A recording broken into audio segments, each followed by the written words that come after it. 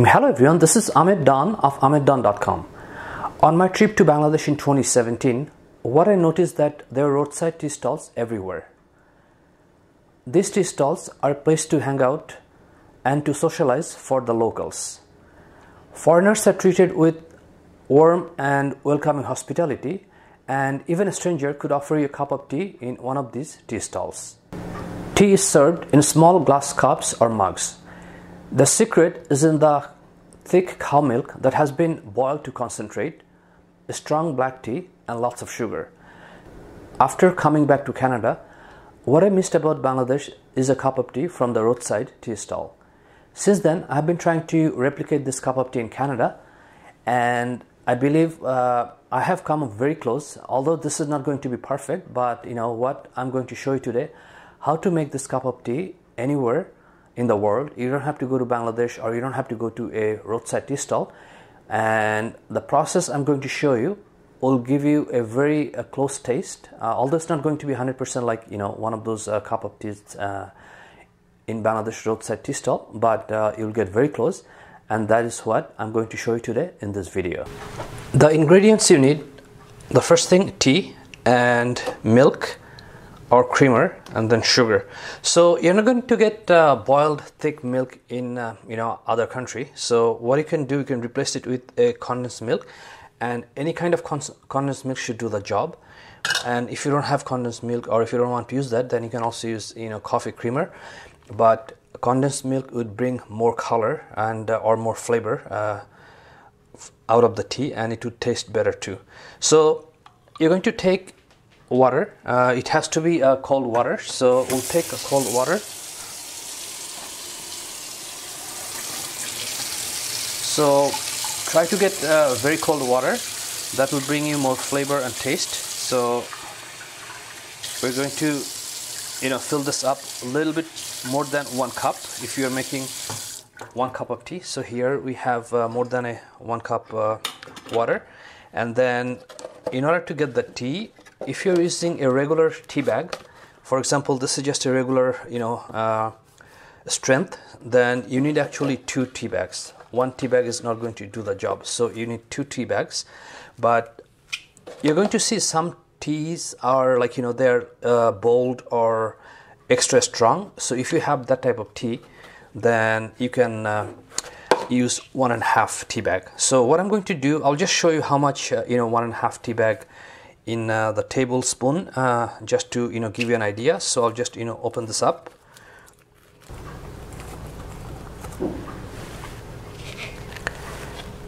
Okay so looks like uh, two tea bags is very close to one tablespoon. So if you don't have you know tea bag you can use also uh, loose tea. But it should be like you know just very close to one tablespoon uh, but if you're using like in a strong tea or bold tea then make it uh, about 75% full of one tablespoon. So this is what is going to be your tea and then I'm going to just hold on to it and then I'm going to start uh, boiling the water. So here's the water and then we'll start uh, boiling it. And while the water is boiling we're going to take uh, if you're using a condensed milk then we'll just you know start with uh, let's say one teaspoon of condensed milk first and then if we need we can add more sugar. So these cubes are actually uh, one spoon or one teaspoon or four gram.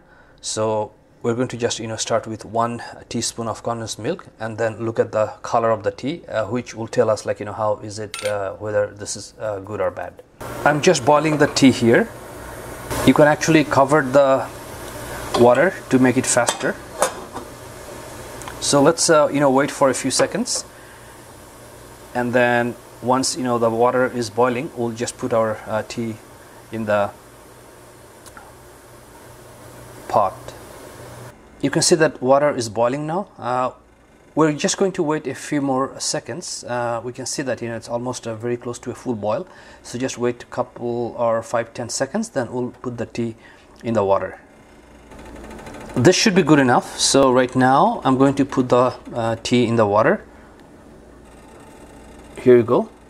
we're going to let it boil for about three to five minutes so I'm going to just shake it a little bit and then I'm just going to cover it and then wait about three minutes or a little bit more than uh, three minutes. We are close to three minutes. I'm going to just uh, remove the lid. And you can see that you know it's boiling in full strength. So what I can do I can just you know turn off the stove and let it sit there for about a minute or so.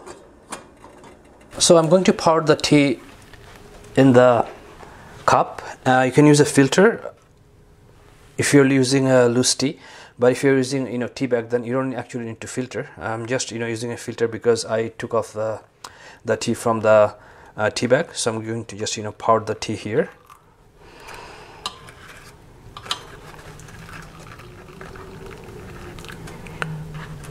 And you can see that the tea has evaporated. So we have lesser tea than what the amount of water we put in.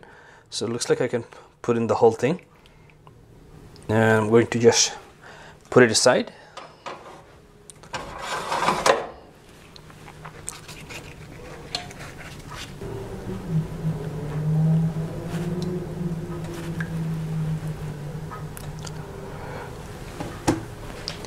Okay so now in order to uh, put milk we're going to start with uh, one teaspoon and see how it looks. So we're going to just you know take one teaspoon of condensed milk from here. Uh, so this is kind of uh, you know very close to one teaspoon. And let's see how the color comes comes out. So let me just push this over.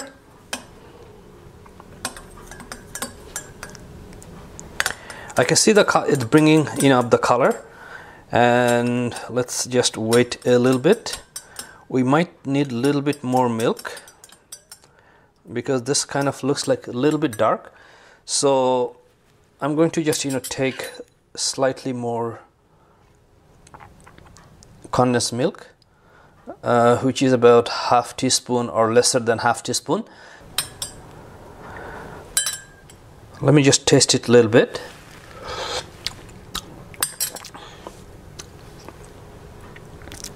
so in terms of you know the color and the milk combination uh, this just looks fine. So I'm going to just you know leave this here.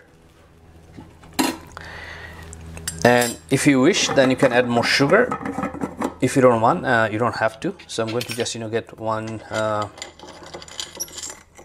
cube of sugar so this is a very basic tea. Uh, i have seen in bangladesh that you know some of the places or some of the roadside uh, tea stalls uh, they add you know uh, some spices uh, which could be uh, ginger or other spices to you know make it unique or to make different types of tea. But this is a basic simple tea. And let me just taste it right now